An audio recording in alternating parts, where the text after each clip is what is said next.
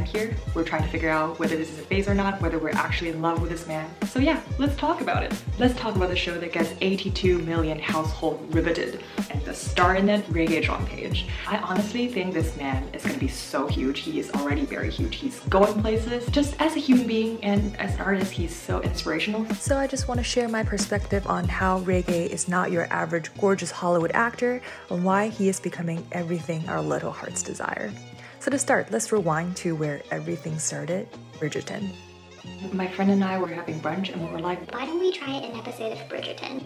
We were not really expecting anything but a Regency drama that's just pretty English people drinking high tea and attending glamorous balls in their very gorgeous clothes, which is kind of an accurate portrayal of Bridgerton. It was glamorous, it was beautiful, um, but it's also much more than that. And I had no idea what's coming my way. Entered the Duke, Simon Basset, and everything changed. Not only because Regé-Jean Page is incredibly hot, and I mean incredibly hot, but also because he is definitely not what the viewer was expecting a Duke would look like. This is another topic that we'll dive deeper into later. So yeah, I remember being very intrigued. I remember asking my friend, oh, so is this like a colorblind Regency drama? Or is it kind of like a colorblind cast, like Hamilton the musical? There's different type of colorblindness, and I just want to know what's the intention behind this. But later, with Daphne and the Duke looking like a million bucks all the time, I was soon distracted. And here we are at the end of episode one. soundtrack of Bridgerton is just like A+. plus. It is so good. I think what really got me going in this scene is the music behind this whole thing. It really just like pushed the emotion and the tension to the pinnacle. We could pretend to form an attachment.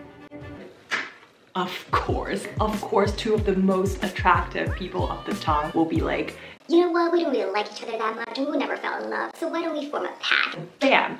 Guess what? They fell in love. Me and my friend were like, we saw this coming. We don't need to keep watching and then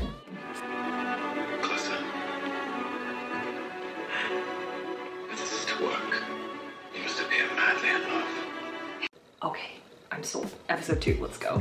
If you can't tell by now, I have zero immunity to this particular vibe. So I devoured the eight episode and it was just life changing, soul awakening. And here I want to mention my favorite scene. To meet a beautiful woman is one thing, but to meet your best friend and the most beautiful of women is something entirely apart. I did not want Miss Bridgerton to only be my friend, I wanted her to be my wife. I want her to be my wife. And Regé delivers that monologue so beautifully, so it just really pinned me down like not literally pin me down, makes my heart melt. So naturally after finishing the show, I started cyber stalking Regé. Because usually when I feel emotionally invested into a character or a show, I would just look into um, the cast's interview and just hear about their take on their character, the production, and just their creative process. I guess we all do this, right? Because the actor was at the end of the day a vessel of the character that we like, and we kind of want to know how much of the actor was actually shining through through the character. And it's this part of the journey where Regé really shined and stood out to me because I'm obsessed with how he answers his question with overwhelming charisma. Regé is so good at interview and he gets me even more excited about the show after I watched it. Not only does he market the show well, he also always talk about his admiration and appreciation for his team and he even flirts with the interviewer in such a charming, subtle, and classy way. Classic Regé, he's going, he's going in with the charm. But in all seriousness, and I'm pretty sure many people who watch Regé's interview can relate, it is not hard to tell that he is a very genuine, witty, and very intellectual person. So yeah, we talked about his charming charisma, now we're gonna talk about his passion.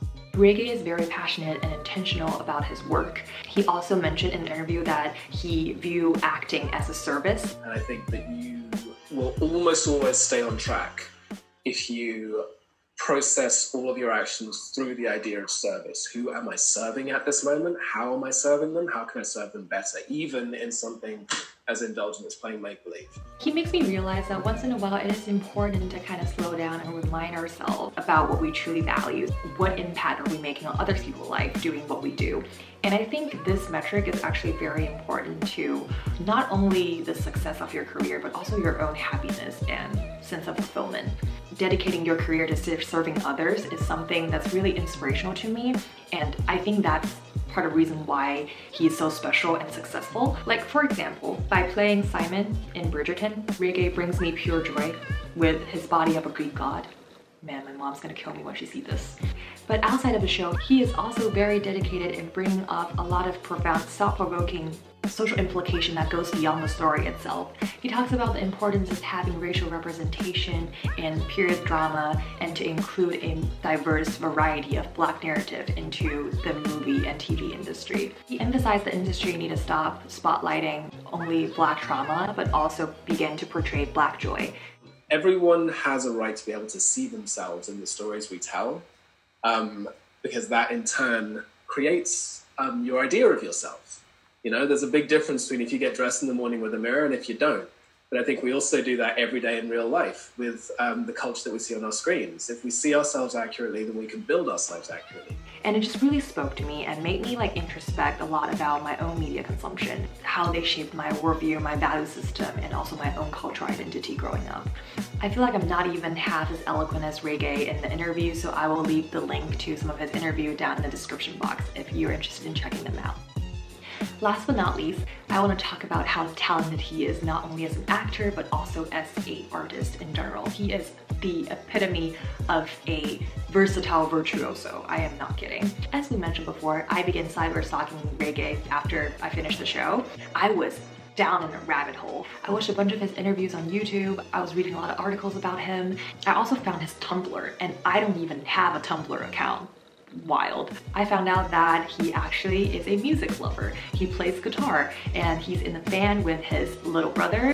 And he even made a dance film last year called Don't Wait and he sings in it and it's his own original songs, which I found is fascinating. The moment his voice hit my eardrum, my heart exploded. He was such a good singer.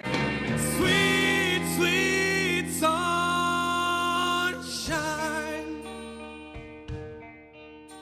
On top of his musical talent, Regé is also a writer. Like, what can't you do, man? I saw one of his poems that he wrote a few years back about the story of his name and also the story of his mother. Just a little bit of context, Regé's mother is from Zimbabwe and Regé also spent most of his childhood in Zimbabwe before he moved back to London.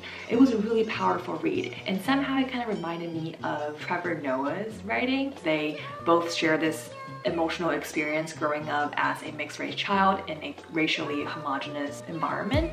I definitely don't have a similar experience to that, but I did resonate with the aspect of this poem when Regé was talking about how people keep questioning his name and his mother's story of having to give up her own name and pick a new one or to go to school when she was a kid. As someone who adopted an English name since college, I just kind of put my Chinese name on the shelf. It hit hard that's just something that really got me thinking. Yeah, he's just very well-rounded, holistic, talented, and as someone who also loves exploring a variety of creative outlets, I see similarity between the two of us. So that's all the rambling I have about Regé-Jean Page. I hope you learned something about him. I hope this is fun to watch. Please hit the like button if you are also burning for him. I burn for you. And please subscribe if you don't want to miss out on my future videos where I probably will geek out on movie, things I like, and also other magical cultural phenomena like Regé-Jean Page. See you in the next one. Bye! I can't believe I actually did this. I really hope that Regé don't see this video and I hope he doesn't find me creepy if he sees this.